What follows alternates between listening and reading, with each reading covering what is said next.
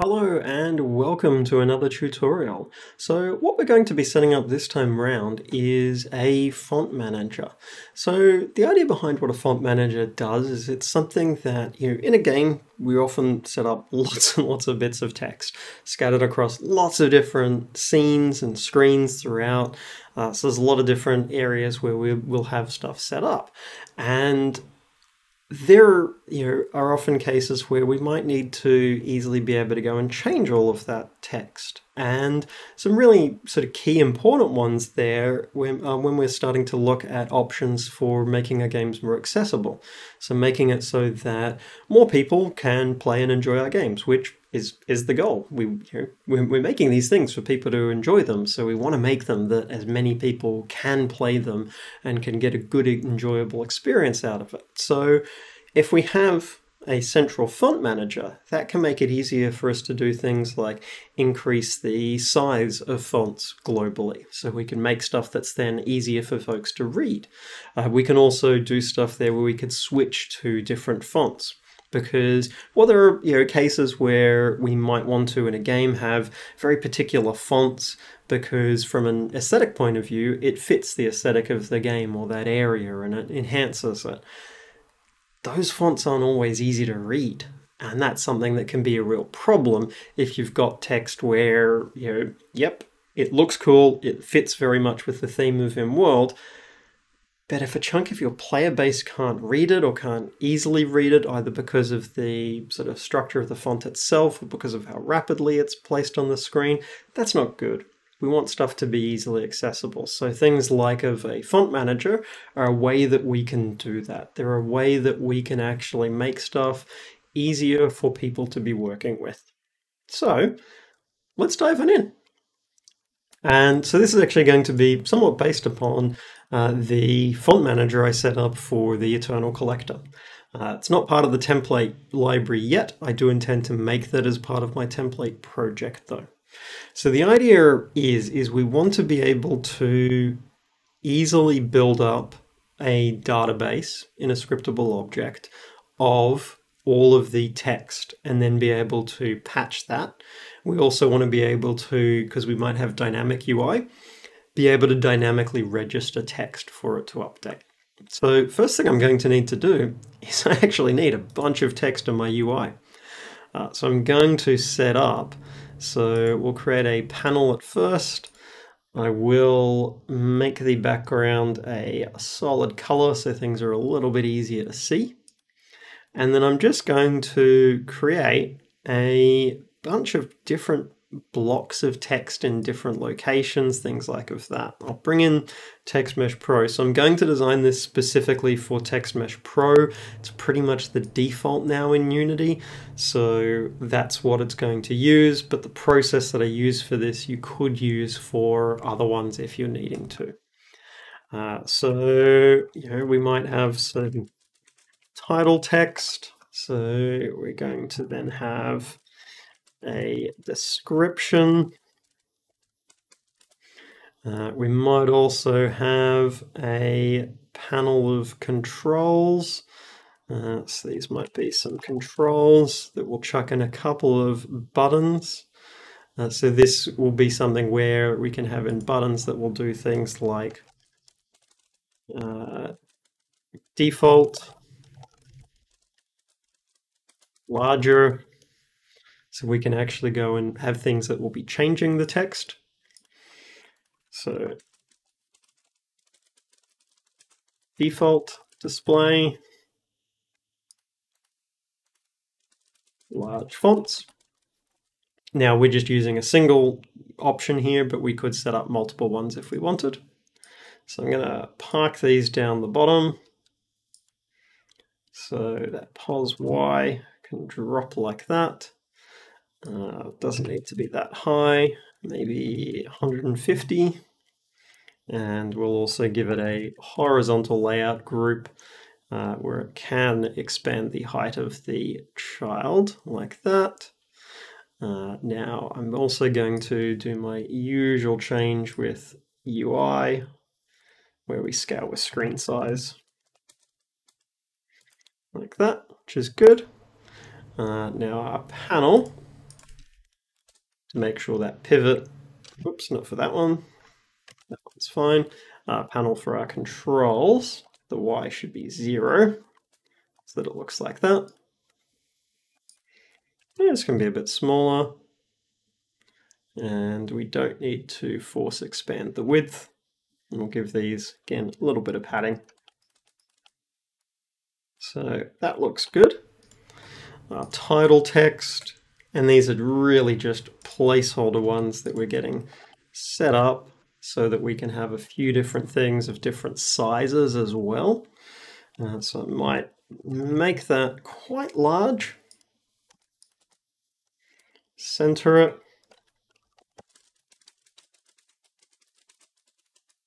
And then finally, we have our descriptive text here, uh, which I will just have it be set up like that. Can have it expand. Can use 5, probably 150. And then we need actually a whole bunch of text to throw into that ideally. Uh, so this is where, you know, if you need uh, text, we can go for good old uh, lorem ipsum and just actually dump that in. Uh, so that will just give us a chunk of text. And I'm actually going to put that in a couple of times just so we've got enough stuff there to be taking up the space. Because uh, actually that's probably enough for us to test. So, okay, that's good.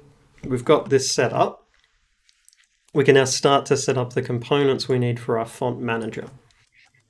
So we're going to have our font manager. Now it's going to have a couple of sections to it. So there's going to be the actual font manager itself. Now, the font manager itself doesn't actually end up needing to do too much. So it's going to be something that would be present in the level.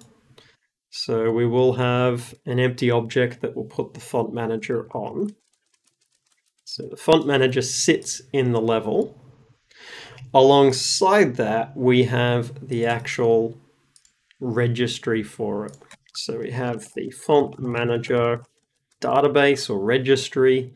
So this is what's going to actually hold sort of the core data.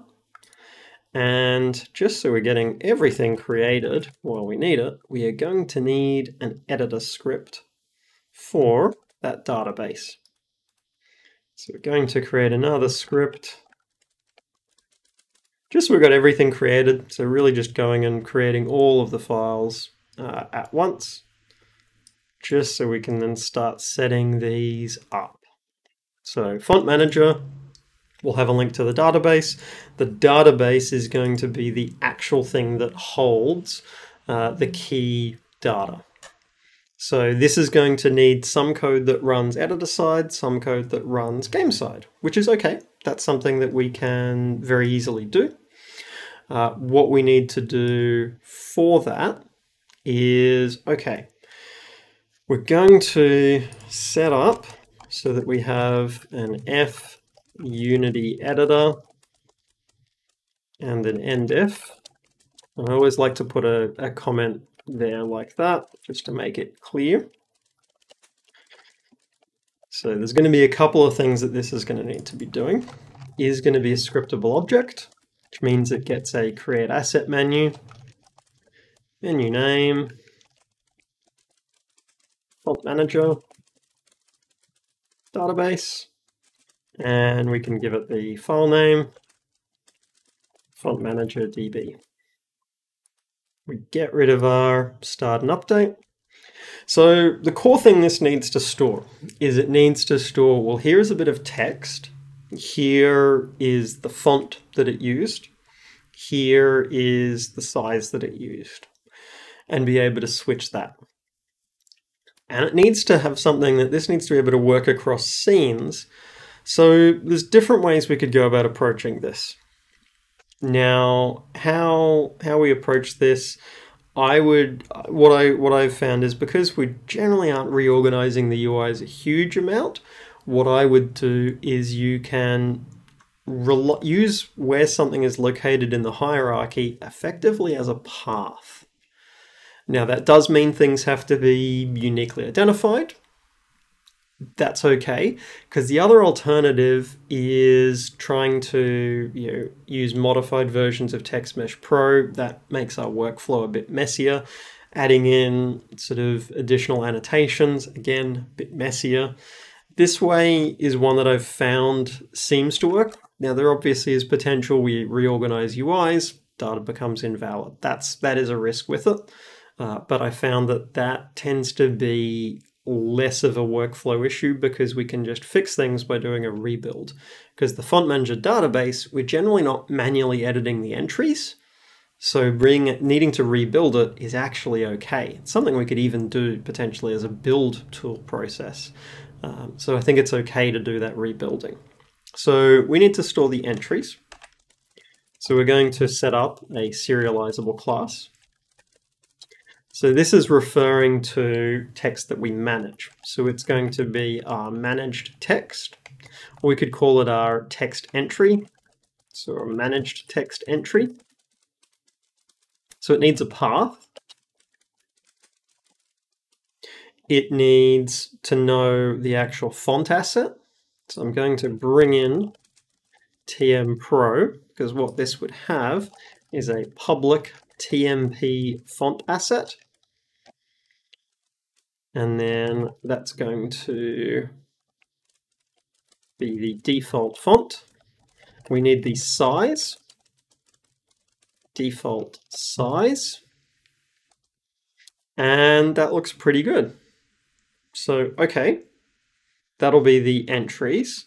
So our font manager database actually then stores, so we can do a serialized field and we have a list of managed text.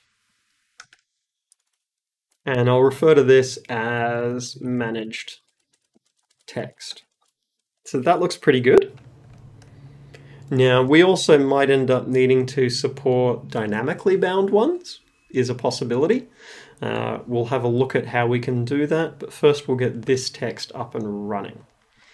So, okay, we need to build up this database. I want to be able to add in these entries. So remember, I set up the editor script for this. Now the editor one, it's actually really, really simple. Because all it's going to do we add in a unit using Unity Editor, tell it that this is an editor, and we need to tell it that this is a custom editor for the type of Font Manager DB. Now, all we need to do is a public override, and this is our uh, drawing the onInspector GUI. So we've got that. We do actually just want to run the base one because all we're doing is we're just adding in a button. So I want to do a GUI layout button, and we're going to populate managed fonts. And this is going to retrieve the font manager database, which we can do just by casting like that. And I can go db populate managed text. So I'll refer to that as managed text. So very little of what we're doing here, we just need to, we're just using this to uh, provide that function. Now I could do a lot of the actual logic for processing and doing the addition in here in the custom editor. I usually prefer not to, and I'd actually recommend not doing that. I think it's better to do that inside the object that you're actually updating the data for means you don't need to go and you know, otherwise I'd need to make stuff like of this public or provide a lot more interfaces. You end up writing a lot more code if you put it into the actual editor itself. Uh, so what I would do is I usually will set up a button and then a function in here. You just have to make sure that you wrap it in this, checking that it's only running within the Unity editor. Uh, otherwise, if you have editor code and you then go and try and do a build, that build is actually going to fail. So you can't build uh, editor code into your actual application. That won't work because uh, the editor effectively doesn't exist. So, okay, we now need to find all of the text that we can currently see. And that's actually pretty straightforward for us to do because there's dedicated objects of what we're looking for, so it's actually quite easy for us to do. So that's what we'll do to start off with. We'll find all of the GUI text. So all GUI text, we can go find objects of type, and we could provide then text mesh pro UGUI. Now you'll see there's two versions of this and we actually want to include inactive ones. So if something's been turned off, we need to include it so that we make sure we get that. So this will traverse all GUI text.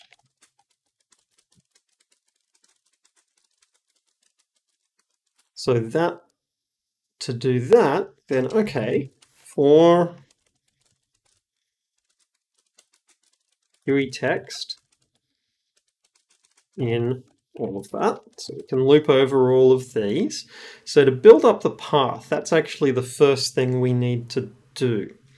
So I'm going to actually put that potentially as a little helper function here. So string build path 2 and I want to give it the particular game object. So game object and we'll just call this child or target object. So I want to get that path. So to assemble that path, well, okay, I'm going to set up a string path. So the starting point for it is actually going to be the object's name. So the target's name, and at the end we'll return path. So the idea is, is this is just like a directory path, except it goes through the scene. So we can store the parent. So the parent, we go target transform parent. Then what we want to do is, as long as that parent is valid, we keep going higher up the hierarchy. So while parent is not equal to null, then I can add in that path. So I can say, okay, well, path, I can just use our string interpolation and we go parent, game object, name. And what you use as a separator is entirely up to you. I would recommend just sticking with using like a forward slash, tends to be sort of the, the usual convention we would go for. So we do that. Then we go parent, like that. So we keep walking up the hierarchy until we run out. And once we get to the very top, we then are at the scene. So we can actually get the name of the scene that we're in. So we can then, as a final thing, add in, we can say, okay, well, target game object, well actually target already is a game object, so we can do target scene name. So we can add that in, and we're going to add that in with an actual different separator, like that. So that will give us the actual path to something. So we've got a helpful way of being able to actually store the path. So, okay, I can go path, get our, or build path to, and we just go GUI text, game object. So that's good. We'll have the path for it. Then we need to set up our new manage text entry. So var entry is a new managed text entry. And then I can populate the different things. So path, we've already got that. I can set up the default font. Well, that's a GUI text, and I can access the font asset, which is just font, And then I can also access the size. So default size is our GUI text dot font size. So that's good. We've got our entries stored. Now we could just add it directly into the list, but what if we've already got things in that list? We might need to update it. So we actually need to do a little bit of wrapping logic because we don't we want to, if it's already there, overwrite it. We don't want to add it again. And we don't want to remove stuff that might be from a different scene. So populate should add an update, but it shouldn't be removing a bunch of things. So what I actually want to do is have a dictionary that's going to be keyed off of the path, and it will have a managed text entry so this will be our managed text map. And that's going to be a new dictionary. And I'm going to, as the very first thing, populate our existing text into it. So all of this existing managed text, I will actually add in. So we'll go manage text map, entry path is equal to entry. So what we're doing is set up a map of the current text. So we just want that because if we already have an entry, we can then check and see, okay, well, if managed text map contains key for that path. So we've got two options of what we could do with this. We could overwrite or we could ignore. So, or we could update or ignore. So I'm going to give this uh, update existing, which I'll default to true, or we'll go for update if already exists. So effort contains it. So actually what we're looking for is effort doesn't contain it, or if we're updating it if it already exists, then I would do manage text map path is entry. So we just store that entry in. So that looks good. We could also move this down to here just so we're not newing it. And in a, in a case where we potentially wouldn't need to. Uh, so add in if not present or if updating is forced, which I might actually default that to false. It's probably better to not force update it. So okay, we've put every put those into a map. Well, that's the text mesh Pro UGUI ones, what if we had in-world text? So we could have in-world text as well. So those are uh, in-world text, find objects of type. So we need to work out what the type is. Now, I've used a lot of ones where you know we, we we're sort of very familiar with it. We've placed the text in the GUI, so I know it's the Text Mesh Pro one. But with this, I think it's TMP text, but I'm not 100% sure. So if you're not 100% sure, how do we check? So what I would do is I will actually add one in. So under 3D object, add in a text, and then I need to see the script. So what I can do is on that control, I can go and select edit script. And what I'm looking for is, okay, and I can see I was actually wrong. So TMP text is the base class. This should actually be TextMesh Pro. So we can then go and fix this to be retrieving ones like that. So this I will just call in-world text. I will reduce the size of that because that is just ridiculous. Uh, but we will move it over and down. Uh, in-world text. It's good. So it gives us something that we know can be being updated there as well. So the logic actually ends up being the same. Now, potentially, depending upon what these inherit from, so they both inherit from TMP text.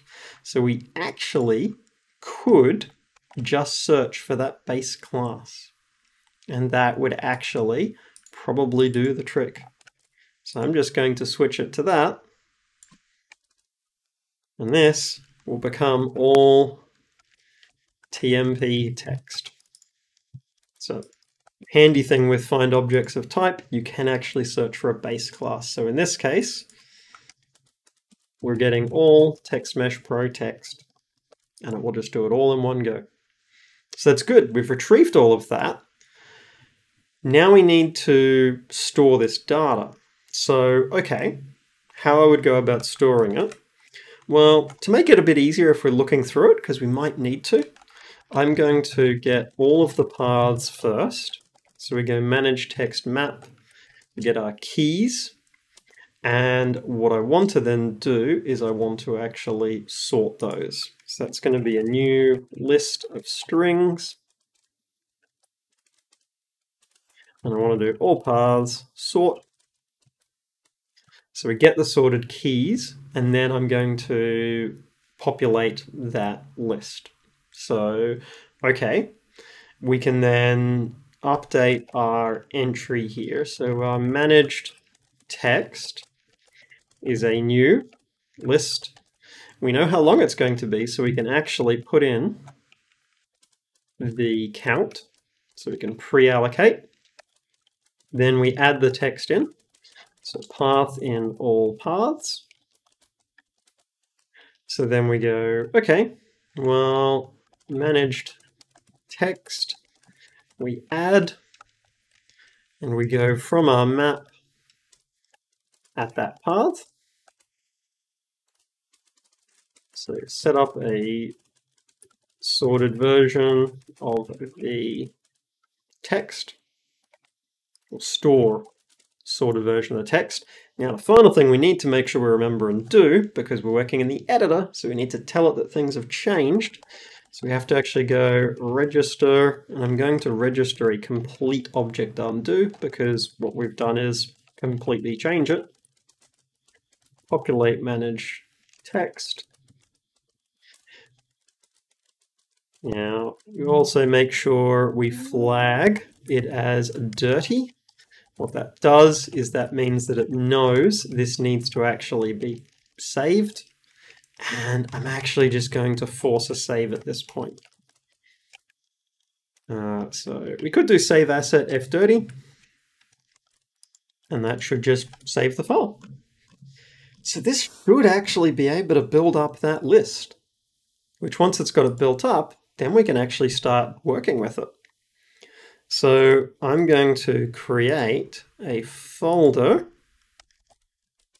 data and we will create our font manager. So we can link that up once we've got the font manager script side there set up. But this, we've got no text in here at the moment. I'm going to tell it to populate. We've got five entries. And we can see sample scene, canvas. So we have our individual entries here. It's storing what asset it's talking to. It's storing the current size of it. So we can see all of those setups there for it, which is great. So we can now start to set up our actual font manager. So the font manager currently doesn't do anything, but it's going to need that registry. So serialize field. So it's going to have our database, font manager DB. So once it's got that, well, we have our buttons here for default and larger. So, okay, let's implement how we want those to be able to work. So set fonts default. And we might then also have a set fonts larger. So this should actually go and we want to look at, okay, well our font manager DB, I'd like to be able to have a synchronize function or a refresh, something like of that, that goes and updates all of the ones. Uh, so we could go set fonts to default or refresh fonts. But we also want to be able to have this control for making them larger. And we want to think about how we want to do this interface here. Because uh, there's a lot of things that we could potentially do. Ideally, what I want is something where I get, I give it, okay, here's the current size, well, here's the default size. What do you want to change it to? So I want this to be able to, that refresh fonts function, to be able to do different logic. So this is something where what I could do is if I bring in system, then down here I could set up my refresh fonts function void refresh fonts. Then I'm going to say that the parameter here is a func. Now func allows us to create something where you can provide in your own particular function for it. So it's going to have a float in and it will return a float. And this will be our font processing function. And I'm going to default that to null, so you don't have to provide one. Uh, but how we would use this is we would do font processing function, whatever the current size might be, and we would get back a new size. That's how it would actually work. Because uh, that then lets me set up here so different ways. So this, I would just actually provide nothing because by default, we'll just say that it goes with the default size. Uh, larger, then I could set up a particular function for this. So I could set up you know, what I want this to actually do. There's different ways that I could structure this. I could link it to a particular function. So I could have uh, font processor larger. Uh, so we'd have float in size. Well, this could be the default size. what I do is I return default size. We might say we add 25% to it. So multiply it by 1.25. I can just put font processor larger. So it allows us to use the same interface, the same process there in the font DB, but it can do a lot of different things. Now, okay, we need to go and actually traverse this font data and work out how we actually apply the stuff. So there's a couple of ways we could go about approaching it. We could deconstruct the paths and build from there. We also could use quite a bit of this stuff here. So I actually am going to take all of this because all of this is quite a valid thing to be using for it and actually can make our life a fair bit easier. So I can build up this map of all of the text that we've got and I can go through and find all of the things in the game. Now this is something where we do want to be mindful that refresh fonts is not something we would be doing a lot. Uh, it is a slower operation, but it would be something where that's okay because it's something that's user initiated. It's something we should expect it to be slower. It's going to be something that people aren't doing sort of in the middle of an action or combat sequence. So we get the path, and we've so we've got our dictionary of all of our text. Makes it a lot easier for us to manage. Uh, we could cache that and only change and change it then know, refresh it only if we switched scene would be stuff we could do. So there are some further things that we'll look at adding at a later point um, for those sort of performance optimizations if we want to. So we've got our map, we've got our text, so it becomes pretty straightforward for actually checking the text here because I can go and look and see, okay, well, is this text actually already sort of present? Uh, so what I would do is F uh, managed text map contains a key for that path, then I can update it. So we could be overriding the font. In this case, I'm just changing the uh, particular font size, but I could also be remapping to a different font. So we're just focused on size, but we could also update this uh, functor here so it was also changing font type as well. Uh, but what we will do is, okay, well, our text entry, so we're going to call this, I will rename these both just so that they're consistent because they aren't really GUI text anymore, so we make sure we're just using appropriate naming for them. So our text mesh pro text's font size is equal to well, if we have a font processing function, so font processing function is not equal to null, then we run it with that entry. So what I would do is var entry is manage text at that path. So we can grab entry, uh, default size. Otherwise, we just set it to that default size. The other thing we could also do is we could have a backup font processing function that we swap in here. Uh, that what we could do is float font processing default. And we just return default size. That way we can remove doing a conditional check here. And we just do this, where what we would do, so it simplifies that logic a little bit, also means we don't need to do that separate retrieving, so it thins down our code a little bit. What I would do is f font processing function is null, then we just swap it to our font processing function default. So f no font processor provided. Use the default. And that should do the trick. We should be able to then have this update the font size.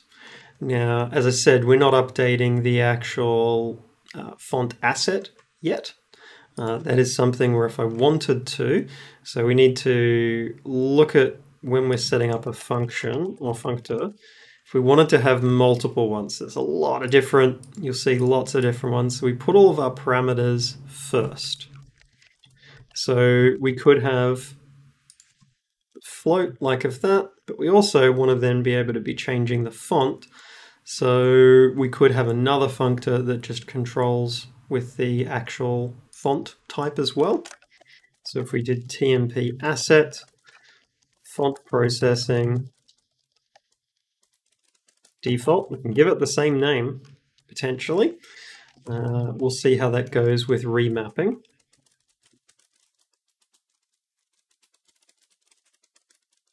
It is entirely different parameters, so it should be able to differentiate between it.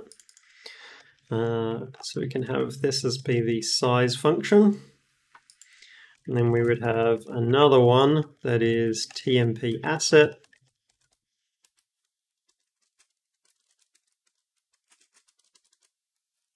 That. Just have these here. I might actually bring this onto another line so that we can make it a little bit neater.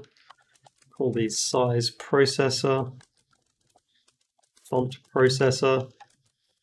So we can see it is able to properly differentiate, which is good, because we would then do the exact same logic of this. So it makes it that if we need to, we can swap out uh, the font. We've got the interface there for it. Then we do similar sort of thing here. This uses default font.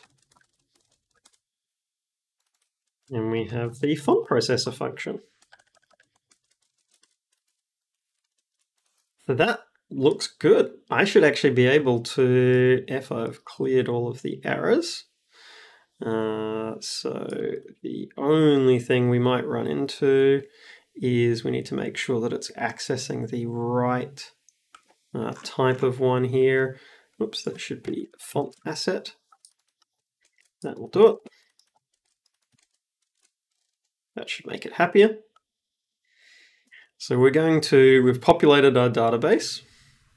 We will link it up to our font manager. Font manager has its database now. It needs that to be able to do anything. Uh, and we then can link up our buttons here, which they will talk to the font manager and they're going to tell it, okay, well, that can go to default. Larger, we'll link up as well. So this one, just link that over to our font manager. Goes to larger. So let's test this out. And we'll rename our, we won't rename our scene actually because the path would mismatch. So we can run it. So if I go large fonts, all of the fonts increase. So we have it going and changing the fonts, which is cool. But that's good for if we've got stuff that's pre-built, which, you know, a lot of things we'll have will be pre-built, but we might have dynamic text as well. So we do want to make sure we can support stuff that might be dynamically spawned. So we need to create a bit of an interface for that. So what we would actually do for something like of that is our font manager. I want to give it a way for it to actually be uh, keeping track of dynamic ones. So I'm going to need to first make this a singleton. So I'll have public static font manager instance, publicly gettable, but a private set. In awake, we set instance to this, but we also do our safety check just in case we ended up with multiple ones. So if instance is already set to something, we exit we also destroy the game object that it's attached to so that we definitely clear it away. And we log out an error because this is something that should not happen. Found additional font manager on, and we can just log out the game object's name. So it just means that we can be safe and ensure that there is only one of it present. What that lets us do then is we can now set up a couple of particular functions. Now, things like these larger ones and that, these you'd probably end up moving those to a different location or changing sort of the interfaces there. Those are mostly testing ones. But we do want to have our one for, okay, we want to be able to bind to a bit of text. So bind dynamic text, TMP. Now we need to make sure we've got TextMesh Pro included here. So bring in TextMesh Pro.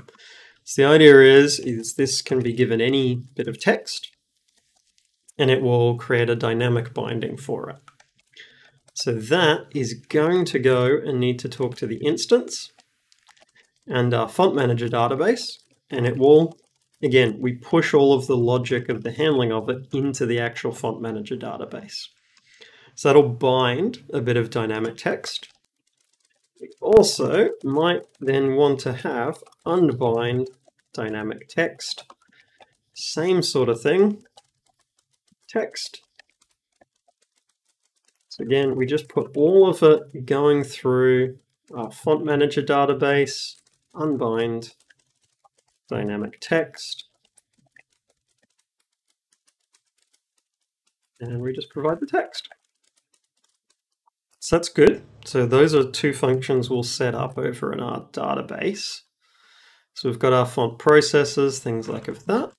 The binding I'll put down here.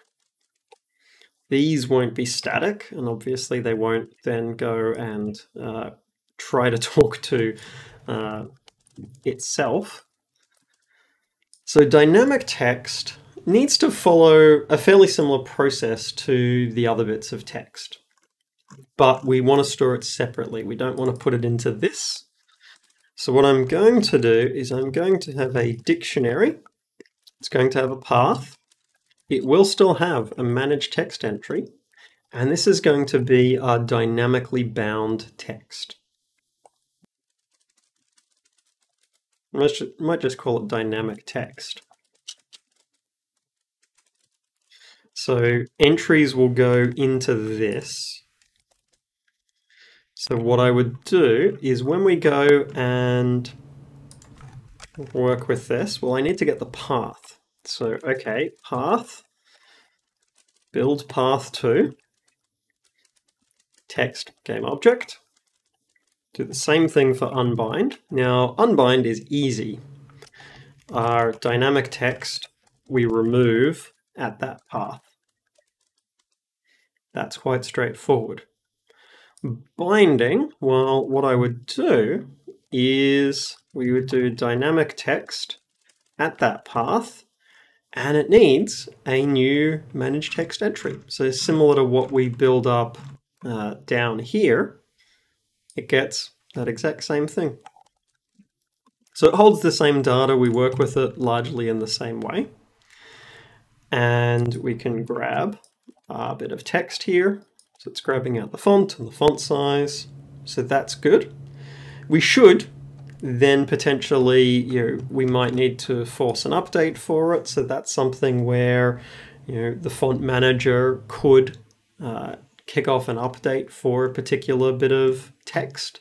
So that might be a useful thing for, okay, force update and being able to actually tell it, okay, force update, we give it the actual bit of text. We can then build the path to it. And this should actually have these same processes. So it should have those exact same processing functions.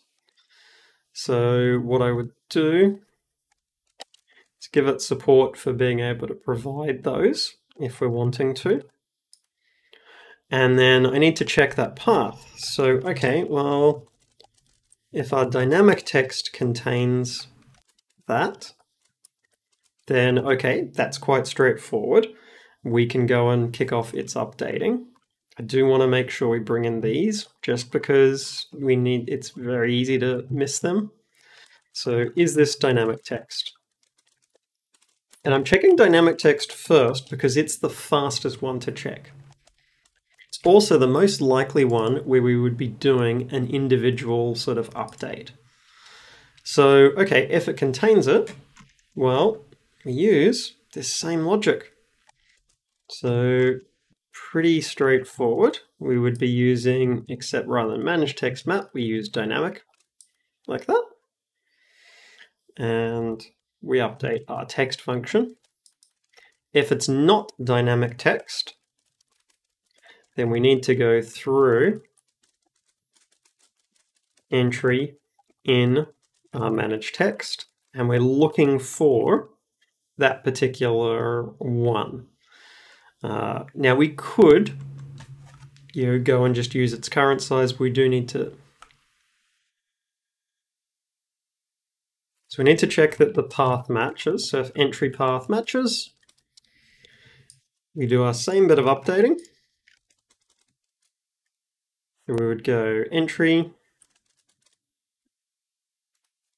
uh, and that needs to go through our size processor function, so we change that. Like that. And we would just do a return. So that's good. We've got something that can handle dynamic text. When we do a refresh of all text, we actually should do the same thing here. So it should do for each var.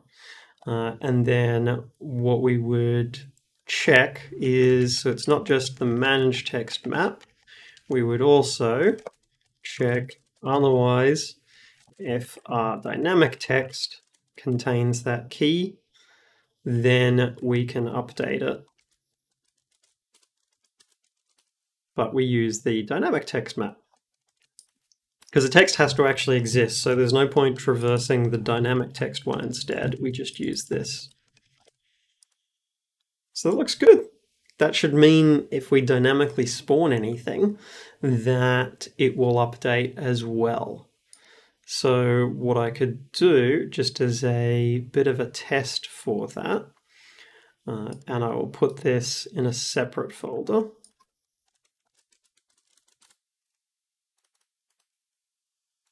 So we'll have a bit of text here, spawn extra buttons. So I'll spawn some extra stuff down here. So what I'm going to do is just add that onto the controls here. And this is going to just spawn in a few extra ones. So we'll just give it a prefab. Name object. And this will be our button prefab.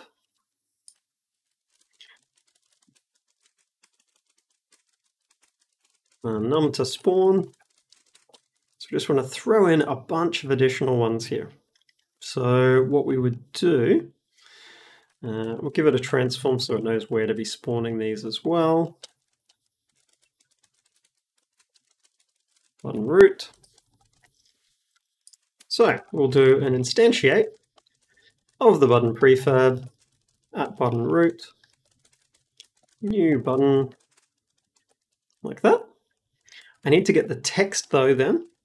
So do new button, get component in children,